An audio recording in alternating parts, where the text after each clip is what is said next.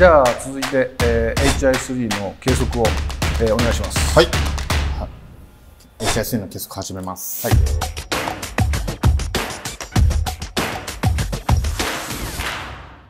まず忘れないように。センター。センターですね難しい割り算がああはい。割り切れない。そうっす、うん、印をつけました。はい。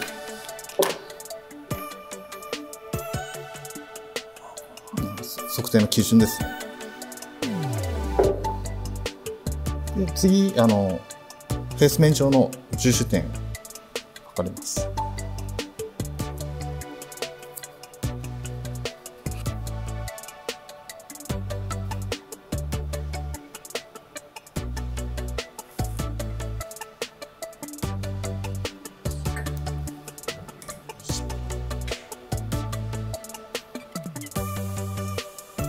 れが重心高さ。そうですね。はい。え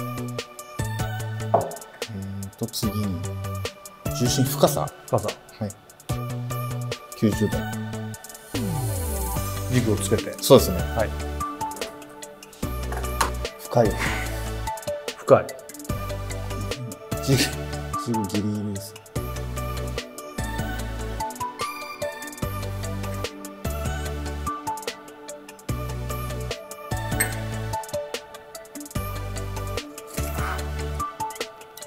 ちゃんと芯に乗ってない。そうですね。取れてます。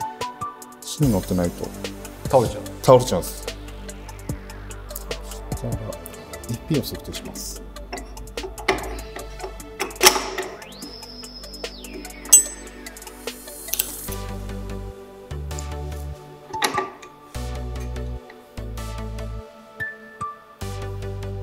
シャフトのセンターを合わせた。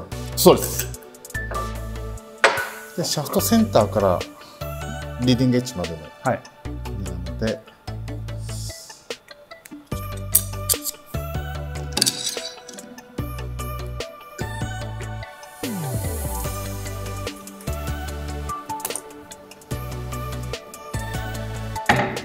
次あの重心距離を測ります。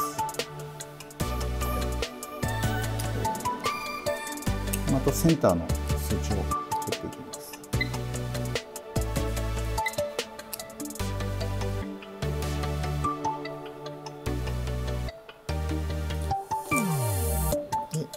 次に。やっぱ重心距離。今重心距離です。距はい。FP と,、えー、と重心距離重心距離。が一緒。はい、はい。測定してます。次がえー、と。重心角。はい。測定します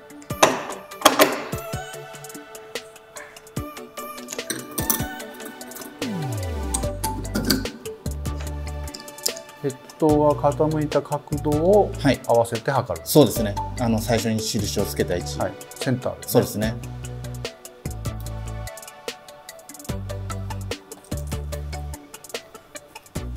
終わりました。あそうした。はい。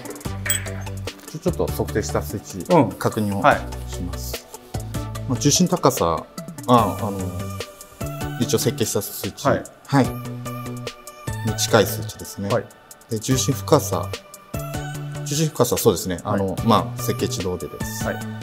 であと重心距離。はい。重心距離もまあ大体。そうですね。はい同じぐらい、はい。まあ設計値に近い数値です、で FP もまあはい、近い数値です。うん、で重心角。どれぐらい？ああ17そうですね。はい。はい、だ PC3 と比べてまあロフトがちょっと違うからまああの必ずしも一緒じゃないんだけど重心の高さはちょっと高め。そうですね。だよね、はい。あと深さがもう極端に深い。はい。で重心距離は PC3 よりもちょっと短め。そうですね。はい。まあ基本はまあまあ近い数値にはそうですね。一応コラボを前提で、はい、そうん。できるようにしてまあまあ、長いかちょっと短い、そうですね。あと FP は全然ストレートネックだよね、そうですね。うん、大きいんで。はい。らこれで見るとやっぱりその PC3 の方はやっぱ FP が結構ルースではい。